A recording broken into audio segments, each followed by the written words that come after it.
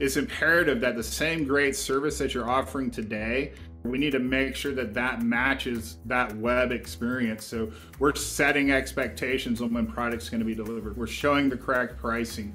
And if we're out of stock, we're just being honest about that and making recommendations.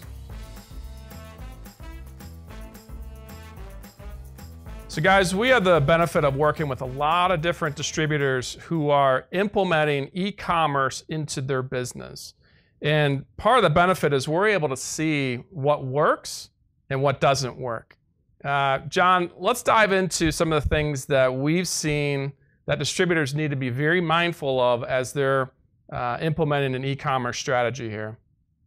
Yeah, I think, James, this is a fun topic and very important. I think the number one thing a distributor needs to think about is after everything is built and it's working and it's in fine working order, they need to think about how do they sell it to their team? How do they make it additive to their team? Because as an inside person, you're used to having the customer call you for anything, any time of the day, 24 7, 365.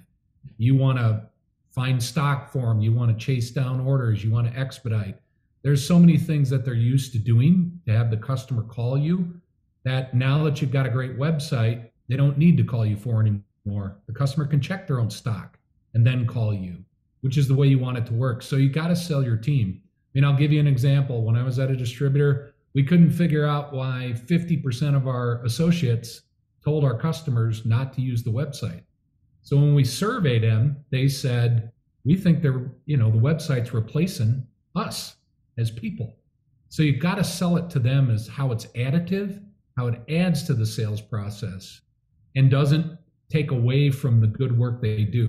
You want them selling more as a distributor leader versus customer service.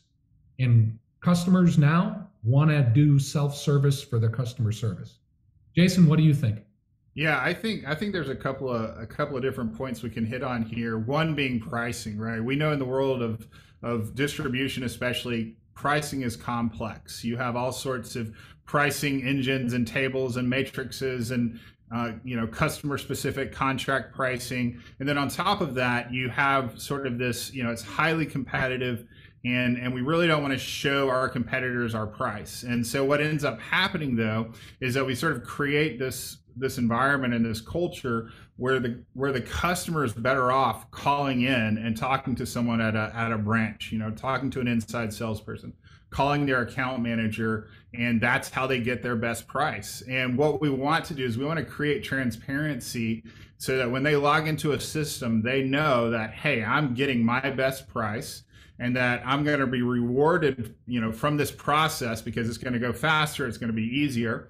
Um, and which brings me to my next point, which is customer experience, right? If if I go online and I order something and and you know I'm used to doing business with you and I order something and it takes twice as long to get here, I'm probably not doing that again. So it's imperative that the same great service that you're offering today if it's a white glove service, however you do it, you know, when they're calling into the branch, when they're calling their account manager, we need to make sure that that matches that web experience. So we're setting expectations on when product's going to be delivered. We're showing the correct pricing.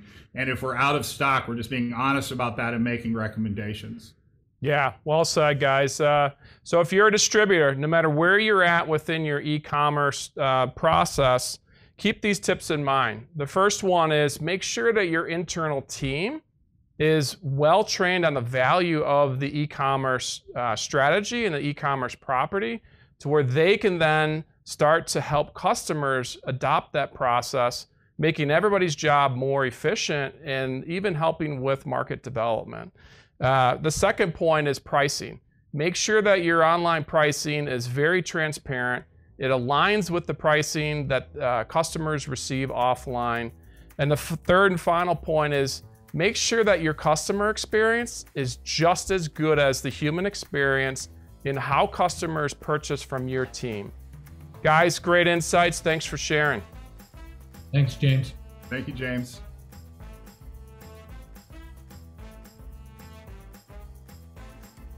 Thanks for watching today.